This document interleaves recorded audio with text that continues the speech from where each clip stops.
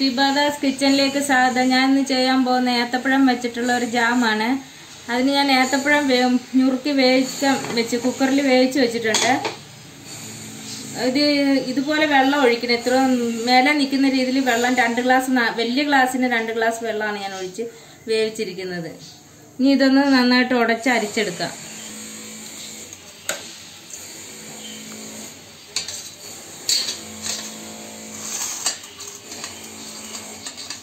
നന്നായിട്ടൊന്ന് ഉടച്ചെടുത്ത അരിച്ചെടുക്കണം. ഇതുപോലെ ചെയ്തെടുക്കാം. എല്ലാം ചെയ്തെടുത്തിട്ട് ഞാൻ കാണിക്കാം.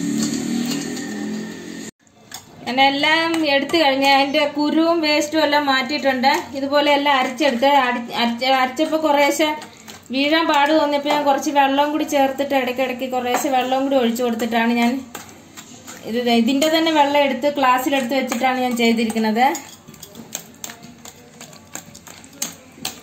തന്നെ എടുത്ത് ഞാൻ ഊറ്റി ഇതിനകത്ത് കുറേശ്ശെ ഒഴിച്ചു കൊടുത്ത് അത് നന്നായിട്ട് ഇതുപോലെ ചെയ്തെടുക്കുകയാണ് ഞാൻ ചെയ്തത്. മൊത്തം എടുത്തിട്ടുണ്ട് ഇപ്പം. ഇപ്പം ഇത്രയും നല്ലതായിട്ട് എടുത്തിട്ടുണ്ട്. വേസ്റ്റ് എല്ലാം കളഞ്ഞു. കുരു.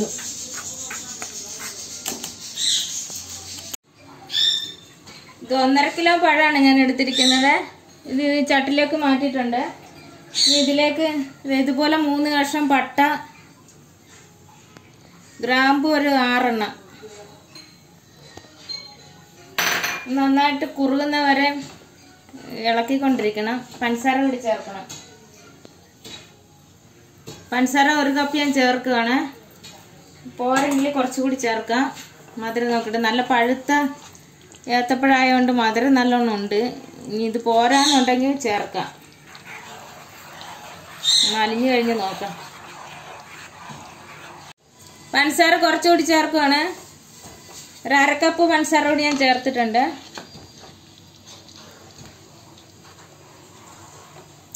ഒന്നര കപ്പ് പഞ്ചസാര.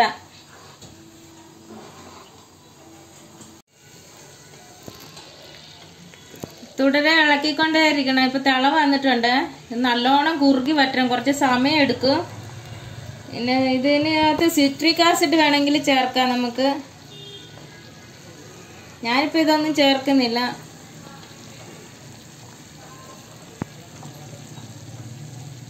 നന്നായിട്ട് കുറുകി വറ്റണം.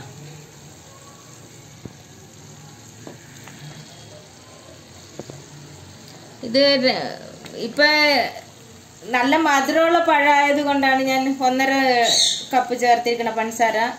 ഇല്ലാന്നുണ്ടെങ്കിൽ മധുരം ഇല്ലാത്ത കുറച്ച് മധുരം കുറഞ്ഞ പഴമാണെങ്കിൽ രണ്ട് കപ്പോളം പഞ്ചസാര അതിന് അതുപോലത്തെ പാത്രത്തിൽ രണ്ട് കപ്പ് പഞ്ചസാര ചേർക്കണം. പിന്നെ ഓരോ പഴത്തിന്റെ മധുരം അനുസരിച്ച് നമ്മൾ നോക്കിയിട്ട് ചേർത്ത് കൊടുക്കുക. അതിന് അളവിനൊക്കെ വ്യത്യാസം വരും അന്നേരം. ഏകദേശം അരമണിക്കൂർ ആകാറായിട്ടുണ്ട്. പാകമായി തുടങ്ങിയിട്ടുണ്ട്. ഇനി കുറച്ചു നേരം കൂടി ഇരുന്നാൽ മതി. അരമണിക്കൂറായി വെച്ചിട്ട് ഇപ്പൊ ഇത് കുറുകി പാകമായിട്ടുണ്ട്. ജാം റെഡിയാണ്. ഈ ഒരു സ്റ്റേജിൽ നമ്മൾ ഇത് ഓഫ് ചെയ്യുക സ്റ്റവ് തണുത്ത് കഴിയുമ്പോൾ പിന്നെ കറക്റ്റായി വന്നോളൂ. ഇത് കണ്ടോ? ഇതേ നിൽക്കുന്നുണ്ട് പാത്രത്തിൽ ആ ഒരു പരുവത്തിൽ നമ്മൾ ഇറക്കണം. ഇതിനകത്ത് നിന്ന് കറുവ ആ കറുവ നമ്മൾ ഇട്ട പട്ടയും ഗ്രാമ്പും എല്ലാം നീക്കം ചെയ്യണം.